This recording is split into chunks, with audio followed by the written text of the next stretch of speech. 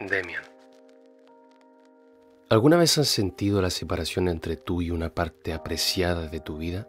Ya sea tras la muerte de alguien cercano, un divorcio, la distancia de un amigo, un cambio de casa, tus padres, abuelos, amigos están lejos. Eso que en un perfecto español le llamamos aprendizaje, experiencia, en los memes evento canónico, His en su gran libro Demian lo llama el paraíso perdido.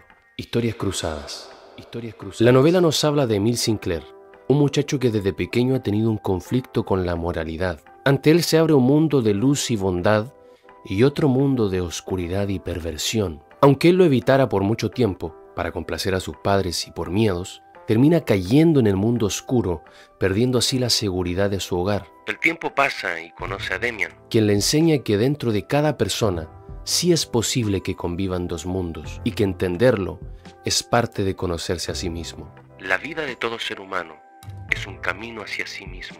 Esto abre el lente psicoanalítico de la obra. Son los personajes con los que se involucra Sinclair en su adolescencia y acercamiento a la adultez los que le ayudan a constituir quién es, su identidad, su subjetividad. Cuando pequeño estaba apegado a los ideales de sus padres, pero es afuera, solo, cuando tiene que conocer en qué cree él y más importante, quién es.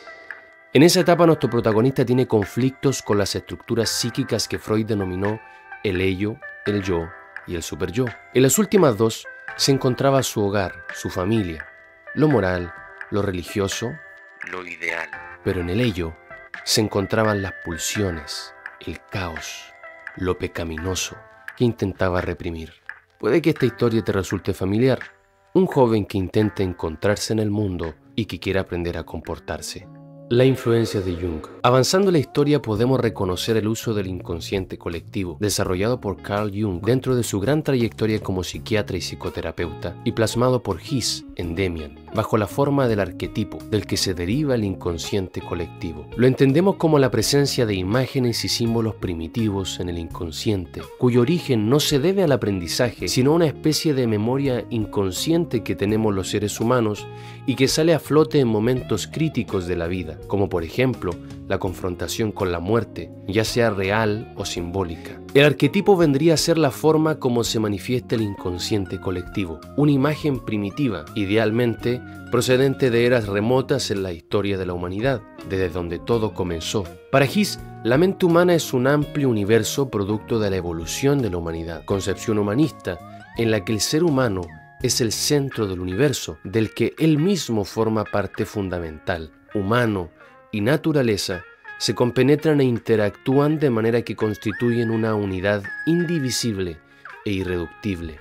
En Demian el tiempo es irreal, no pretende separar el bien y el mal, porque el mundo no avanza progresivamente hacia la perfección, porque ya es perfecto, según el autor. El mundo no se transforma esencialmente debido a lo dicho, y además ya que él mismo alberga toda su evolución, en él está toda su historia. En pocas palabras, el mundo ya es todo lo que necesita ser.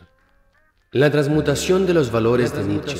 Sinclair, al buscar unir los mundos del bien y el mal, opuestos, que ve desde su infancia, plantea un tema moral conocido en Friedrich Nietzsche, la transmutación de los valores. Este autor escribió una vez, No hay fenómenos morales, no hay nada más que una interpretación moral de los fenómenos.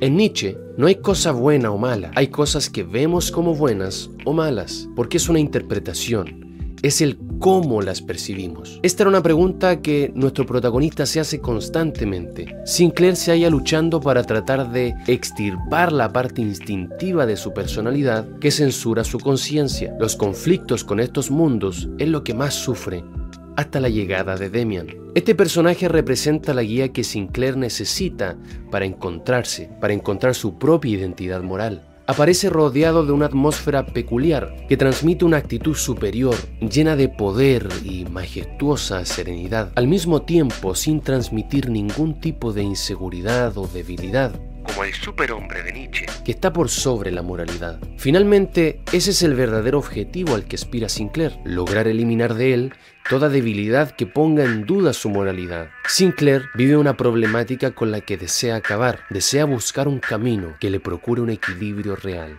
llegar a su propio yo. ¿Y tú? ¿Ya te encontraste?